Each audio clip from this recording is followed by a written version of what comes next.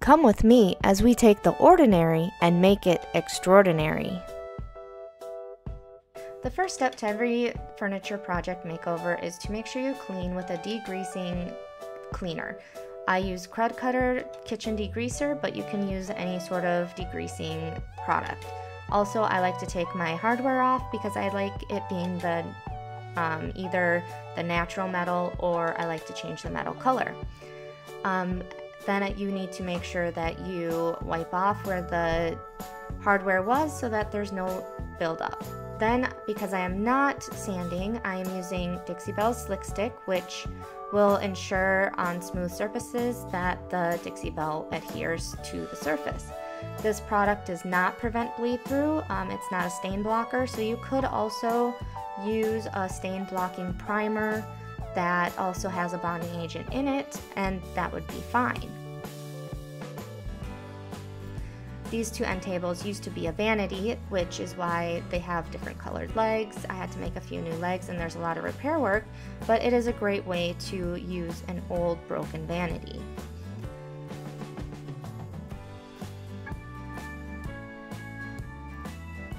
For the most part, I just use long fluid strokes um, when I am painting. That way there's no clumps or drips or anything and you get a nice smooth surface. You do not have to worry whether it's perfectly covered because this is just make the paint stick.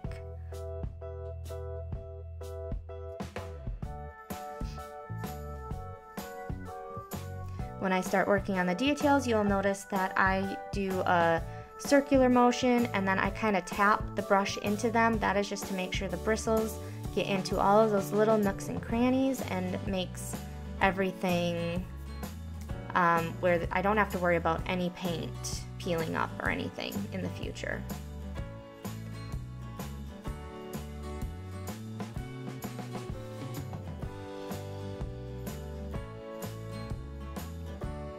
This next step I am using shellac which will prevent any bleed through to go through because you can see there is some bleed through but then after the shellac dries we can move on to our next step which is applying the Dixie Belle Limeade. And this is a mineral based paint so it's really durable it goes on really easily and I only use two coats on these two pieces And again, in this first coat, I'm not really worrying about getting 100% full coverage. There will be, you know, thinner spots and thicker spots, and that's okay. I am using my fine mister that I got at Hobby Lobby, or you can get it at any hairdressing outlet. I'm using that to just mist and moisten my paintbrush just so the paint slides easier. You don't want to get it too wet because then that will thin the paint down and you have to do more coats. Since I'm working outside, I often have to pick out little fibers and hairs and bugs and that sort of thing because you want a nice smooth finish. And I am just using the same tapping and swirling motions in all the details that I did with the slick stick.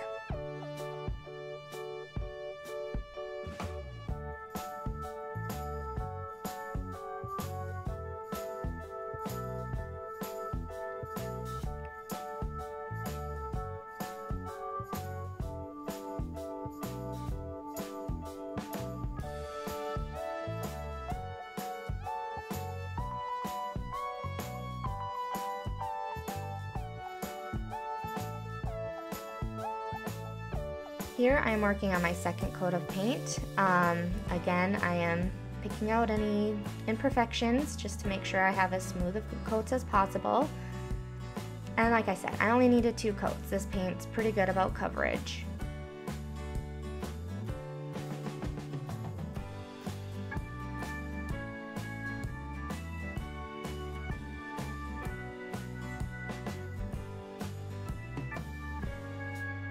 Again, I am just doing long fluid strokes. And sometimes I will do, if I find that my first coat is a little bit streaky, I will go the opposite direction on the second coat just to kind of cover up some of those brush marks. But this paint is really good about brush marks and I like the paintbrush that I'm using as well. It doesn't produce very many brush strokes.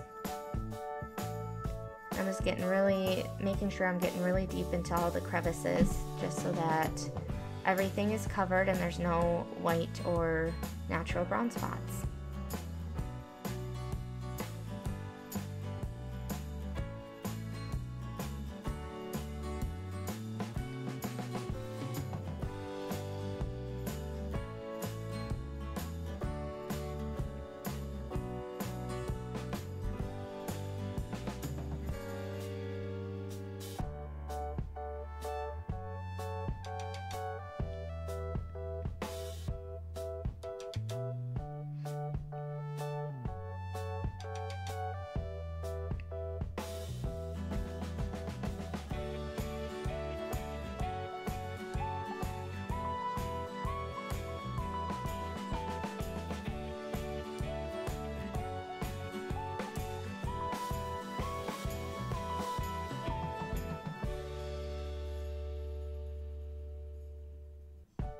Here I am applying one thin coat of polyacrylic. The paint I'm using is a mineral based paint. It is very porous so the acrylic paint that I'll be antiquing with will soak into it and change the color permanently and it'll be harder to take out. So I am doing a top coat, that way it's kind of a barrier so it'll preserve a little of the original color when I am antiquing it and it'll make it easier for me to wipe excess off.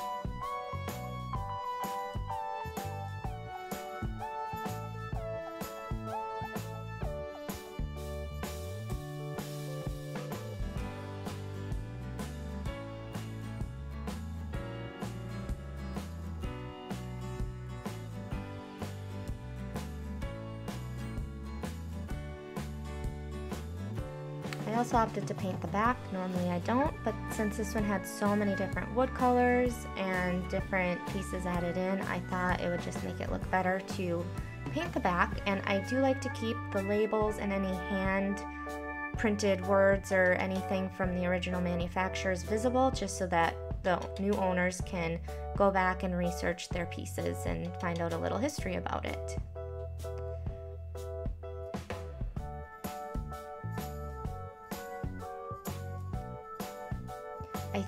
For each coat, I usually wait about at least a couple hours in between to really make sure they're dried and cured.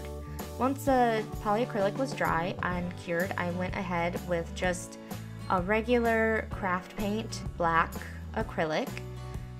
I just get the cheap stuff from Walmart. I think that bottle was like maybe five bucks. And then you get a ton of it on your brush and you just really smush it into those grooves and you'll see me spraying it again just trying to get that paint to move more freely. And you want to work in small sections because you do not want the paint to dry because once it's dry it's a lot harder to get off. And I also kind of mist over the top of it just to keep it moist until I am ready to wipe it down and I just wipe it down with one of my husband's old t-shirts. I don't have any special things for that. Um, you could use anything that doesn't have lint. And then I just go through and I just wipe it down. And I just keep wiping and wetting the finish until I have the right amount taken off. Sometimes until you get used to it, you might take too much off. It's okay, just add a little more black to it and just retry it.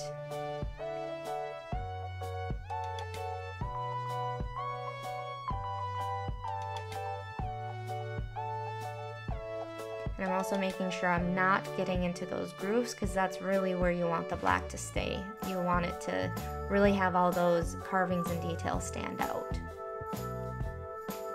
The top portion of details, I'm not really worrying too much about how much I'm taking off because I will be putting silver over those.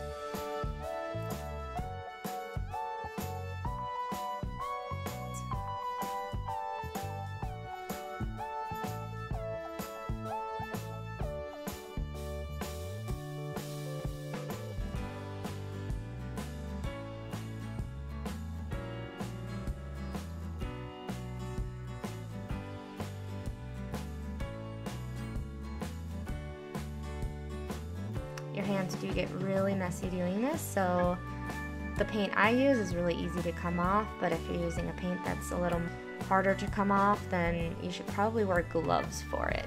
I always forget.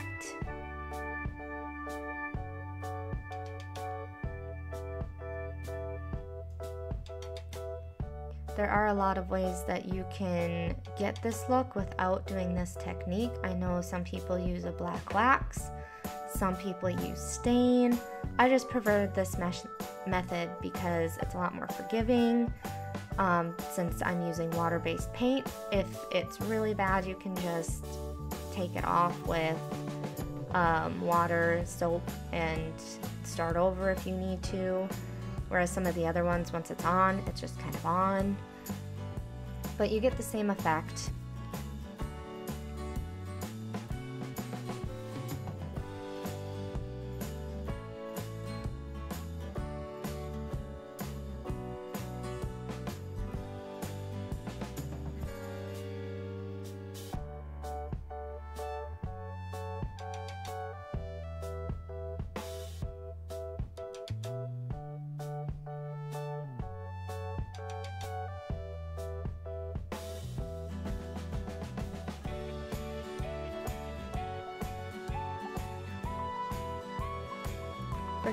Reason I'm only going into the creases and not doing the entire part of the side is because that's where you would find the most grime and age, is right in the corners where people wouldn't be cleaning it as much.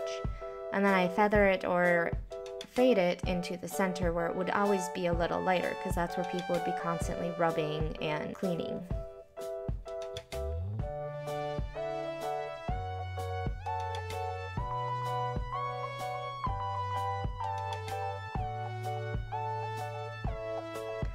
More of a random random motions. I don't just go up and down. I will swirl, I will pull it side to side.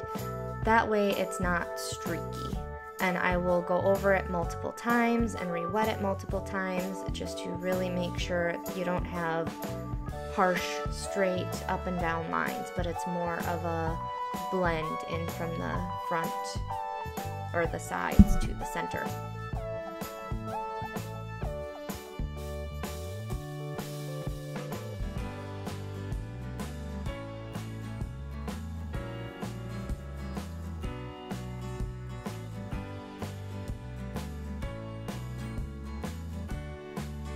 Constantly trying to find a clean spot on my rag because eventually the black paint will soak into the rag and you'll just kind of be smearing around more black paint. I do end up getting a new rag once. It just gets way too hard to take back that black.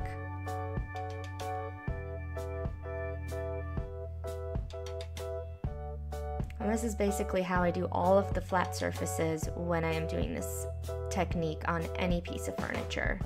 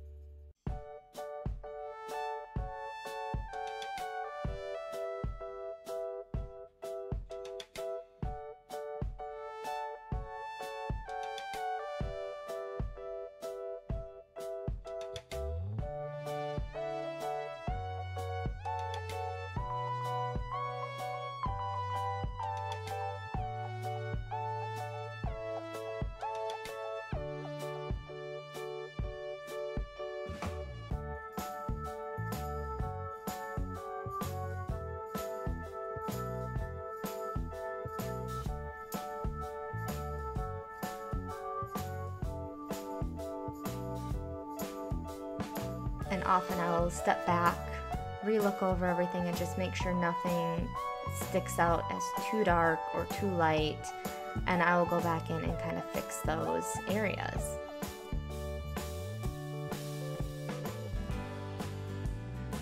Second to last step, which is I am going to put two coats of polyacrylic over the top of it. Polyacrylic is the same top coat we used as a barrier between the chalk paint and the acrylic paint. And we are going to do two thin layers. I like polyacrylic because it is a very strong finish, it is durable, and it's water-based so it will not yellow your paint like polyurethane will. I have also used water-based polyurethane and I personally have never had a problem with it, but I know other people in the business have. So polyacrylic's one of those where if you don't want to do wax, it's one of the best finishes out there. You just want to make sure that you're distributing it evenly and that you don't have any drips or globs and that you're not missing anything. I like to use a gloss polyurethane mainly because I like glossy furniture, but also it really does help when you're going in to do the second coat to make sure that it's fully covered because you will see the difference between the gloss and the matte paint. Whereas some of the matte finishes, it's a little harder to see when you've actually missed a spot.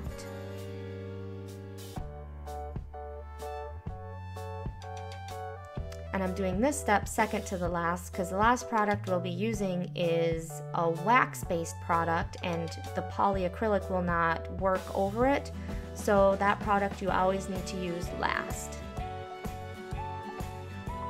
And here I am just burnishing with a brown paper bag to kind of knock down some of the high points, some of the lint that might have gotten stuck in the polyacrylic. And I do this in between each and every coat of top coat that I do. You can use 220 grit sandpaper as well. I just do my coats really thin and I worry that using the sandpaper I will actually start eating through the top coat and then in certain areas you only have one one coat of the top coat and I worry that that's just not durable enough. So this is just me being paranoid so I like to use the paper bags plus I have like a million paper bags. It also makes it nice and shiny when you do it over your main coat. It'll shine it up a little bit and make it a little more polished. And here I'm just doing my second coat.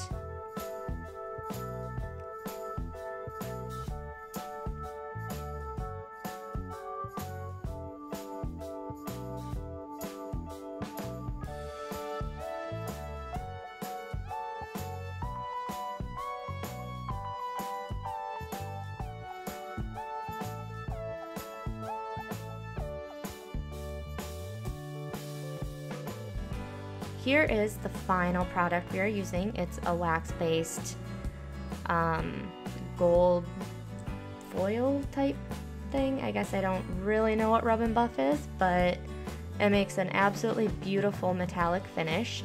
I started using a rag, but it was really hard to control, so I ended up halfway through getting Q-tips and it was so much easier to control.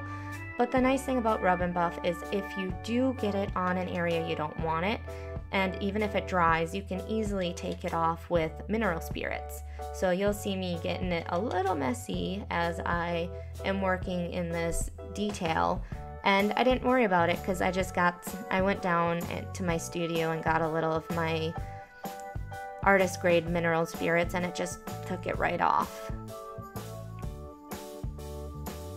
And with this product, what you do is you put it on and then you wait, I think it's 15 minutes. I'd have to check on that, but um, I'm pretty sure it's 15 minutes till it's completely set up and then you kind of rub off the extra and by rubbing it you also burnish it with a cloth and it makes it really metallic and shiny.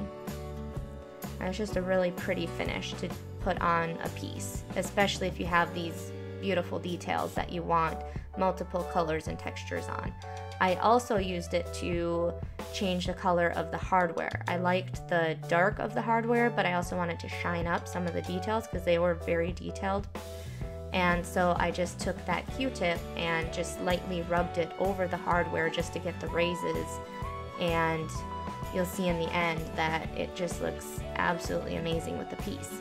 Unfortunately, that footage, it was a really windy day and I realized why you don't have autofocus on your camera when you do videos because it was just focusing in and out. So most of the footage was really blurry.